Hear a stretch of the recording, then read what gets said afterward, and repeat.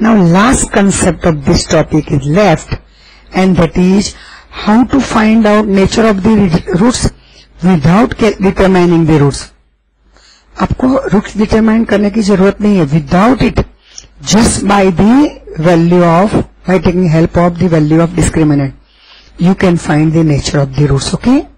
so now last concept of this topic is how to find out how to find out nature of the roots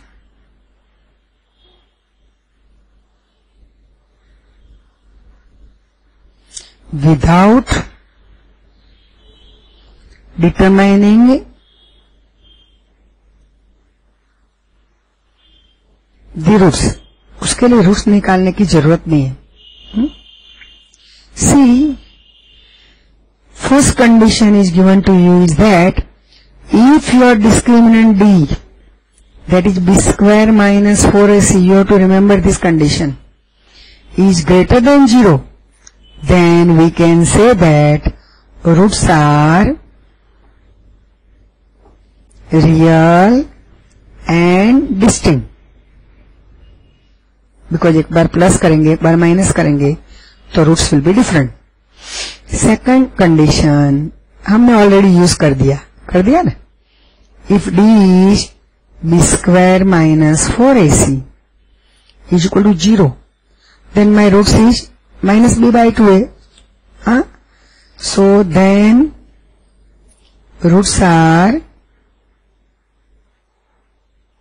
real and equal.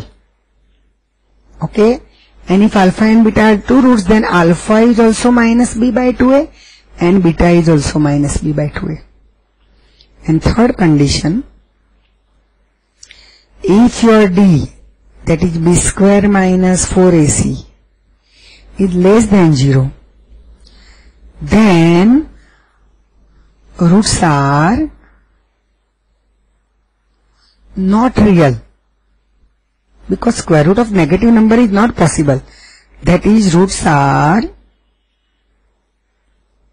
not possible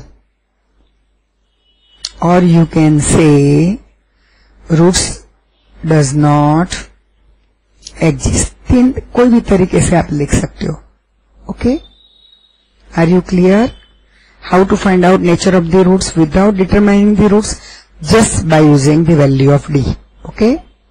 Remember and your exercise 4.4 4.3 में हमने numerical sum कर दिया। Problem are left problem I am doing at last okay after complete completing 4.4 point four the sums problem of four point three we are going to do okay because problem के लिए I require full knowledge और problem तो हमने बहुत किए है। Right right? Linear में भी किए है। Right right? और इसके पहले भी प्रॉब्लम तो कर दिया हमने।